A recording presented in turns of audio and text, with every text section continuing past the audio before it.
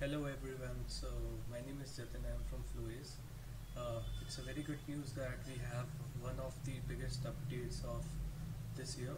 We have recently launched a productivity mapping that is, as you can see on the screen, that is streamline your URLs and apps into the respective work categories and supercharge your efficiency.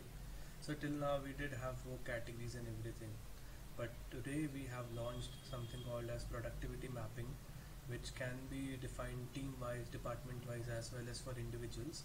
This is one of the biggest updates. Also, we have launched a time zone that uh, so the best time zone which fits for your company, right? You can choose the time zone according to your own company. So that is the second thing which we have launched. The third one is a few people were not able to sign in on their calendar in the meeting section. That has been resolved now. Now everyone everyone can sign in so I'll quickly cover all the three parts right.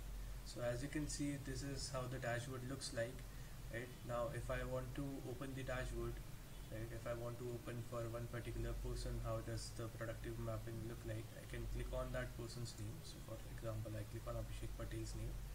I can see there are three areas now. One is the productive area one is the neutral area one is the unproductive area right? All those three areas can be uh, seen from here if I click on the productive areas I can see on which uh, areas uh, Abhishek has spent time on right? I can see all of this and now by default all the categories all the websites which you are visiting and if those are not categorized or those are not put, put into a bucket those will be automatically going into an unproductive category so it's really important for us this is a really important thing that we need to put that into a productive category right it's not the same like before it won't go into neutral category. Now it would go into an unproductive category. So we have to make sure that it goes into the right listing. Now we have also changed the name from which we used to do the configuration of it. Now it's not in settings. It is down uh, right above uh, productivity mapping. It's under administration. Just click on productivity mapping and you can see all the work categories. The UI UX have has changed here. Right you can visit all the categories from here. You can select the work category you can select the listing of the category. It can be either productive unproductive or neutral. You can choose it from here. The color code can be changed and you can see right?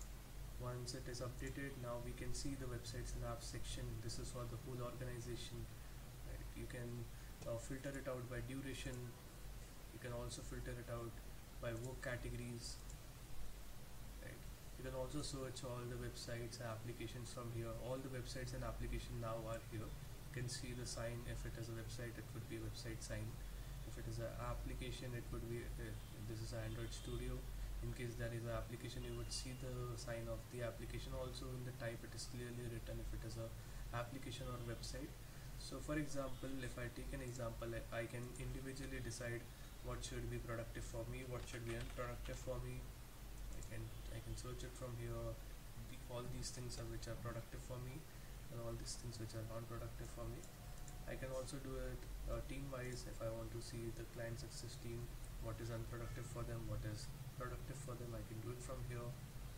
Right I can also search it for any of the teams and I can change the work categories. So for example for digital marketing team right uh, Facebook and Instagram would be productive for for others it would be unproductive. So now that can be done from here. You can do it from here. This has changed. I would like all of you to explore this panel.